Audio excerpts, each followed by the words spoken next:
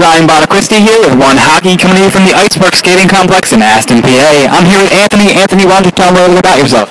Um, I'm Anthony. I play for the R&M Selects team, and we're from New Jersey. And um, I started playing hockey a while ago, and I really like it.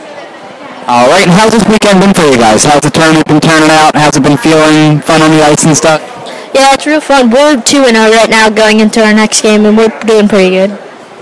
All right, now what makes one hockey different from any tournament you play in other uh, other other places? Really, the competition, it's all good and it's fun, and nobody really gets mad, and the refs are great, and the parents are great. All right, that's great. Now, if you could describe one hockey using one word, what would that word be? Exciting. Exciting. You heard it here from Anthony, folks.